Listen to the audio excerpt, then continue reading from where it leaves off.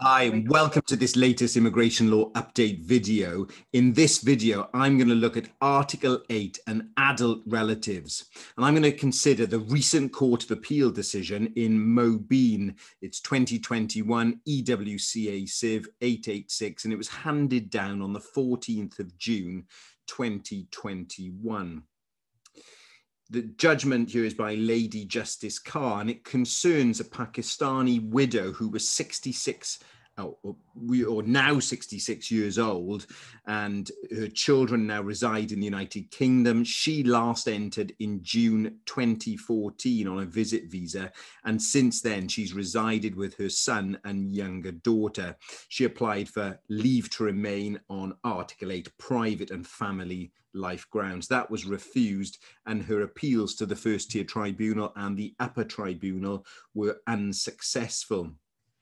Lady Justice Carr sets out the facts uh, in relation to her uh, background, her previous visits uh, to the United Kingdom. Also, importantly, shortly before she came, her house uh, burnt down and she'd been widowed in Pakistan.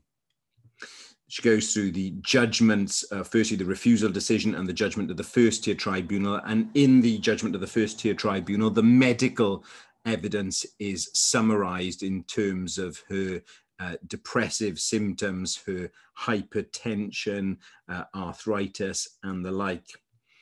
The judge uh, judge's findings are set out at paragraph 14 in terms of her health uh, and issues in relation to returning to Pakistan. But note paragraph 16, the first tier tribunal judge made some credibility findings in terms of uh, the position in Pakistan and also uh, her health. The judge, uh, and it's cited at paragraph 18, citing the first tier judge's paragraph 42, made this bizarre finding that family life didn't exist. And the basis for this seemed to be a focus on what could be re-established in Pakistan. So the judge used the sort of facts that certain relationships could be re-established in Pakistan to say there was no family life in the United Kingdom.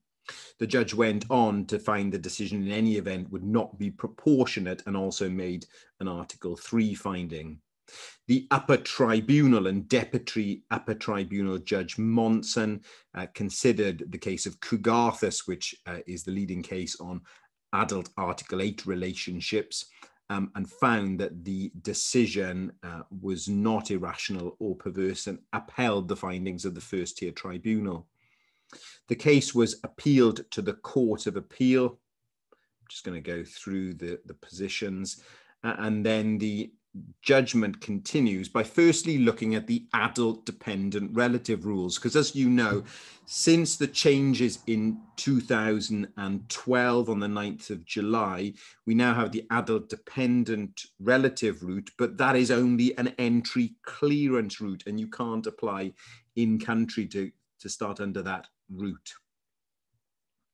Then the court of appeal consider Article 8 and the application outside of the immigration rules.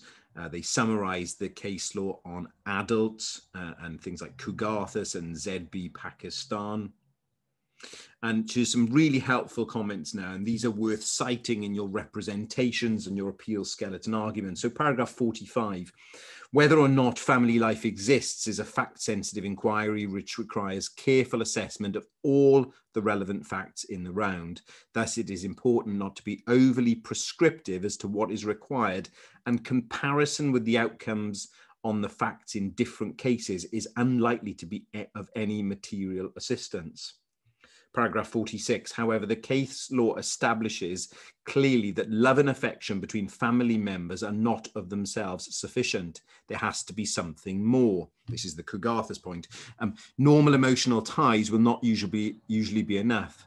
Further elements of emotional and or financial dependency are necessary, albeit there is no requirement to prove exceptional dependency. And you still hear it cited by the Home Office, oh, exceptional dependency hasn't been established.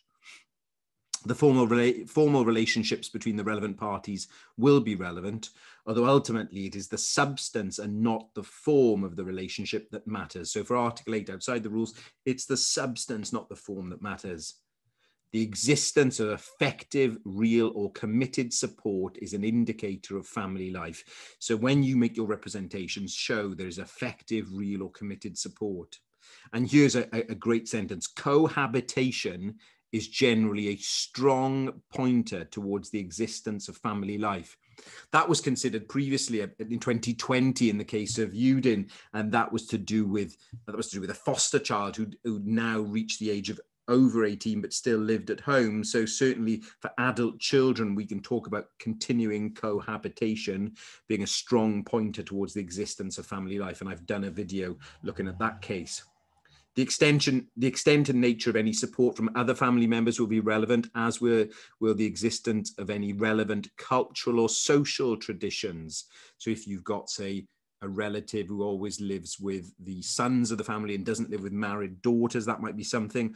Or if you've got an adult daughter who's unmarried and culturally she's still part of the family unit, those are things uh, we want to refer to. Indeed, in a case where the focus is on the parent, the issue is the extent of the dependency of the older relative on the younger ones in the UK and whether or not that dependency creates something more than the normal emotional ties. So your focusing gathering evidence will be showing the extent of the dependency. So when you get medical reports, when you get independent social work reports, you're going to show those family ties and the extent of the dependency also considering these type of cases getting evidence as to what is available in the home country to show perhaps there's not availability of care, either domestic care to come into the house, say back in Pakistan, as in this case, or perhaps the lack of availability of care homes. Consider getting a country expert involved.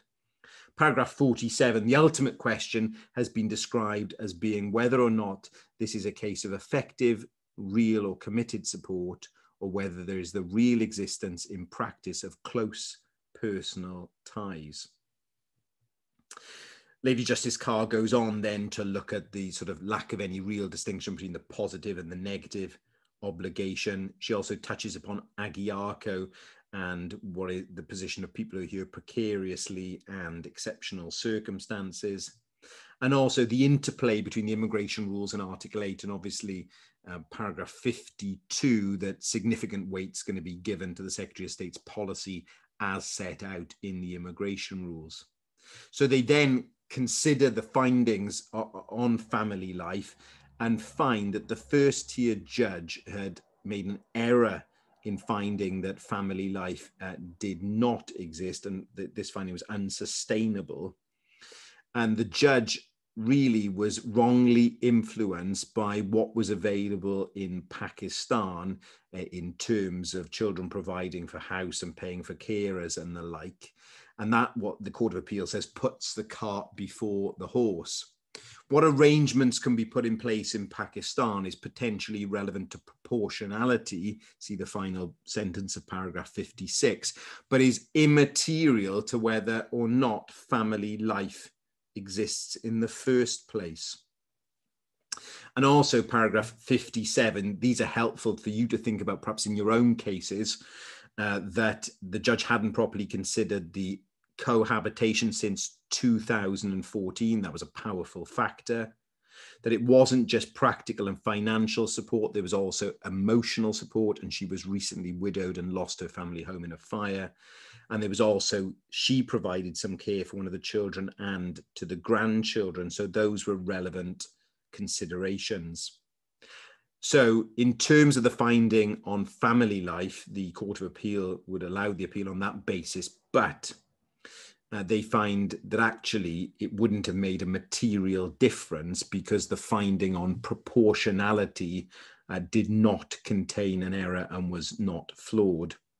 One of the things they point out is obviously at paragraph 67 is the fact the appellant was applying outside the immigration rules and never came in under the adult dependent relative route is a sort of negative point in the proportionality uh, balance, even though it's it's not determinative of the question at paragraph 68. But ultimately, uh, the judge finds that the uh, first tier tribunal judge's conclusion on proportionality was uh, not defective and the upper tribunal were right to uphold that finding. So ultimately, the appeal is uh, dismissed.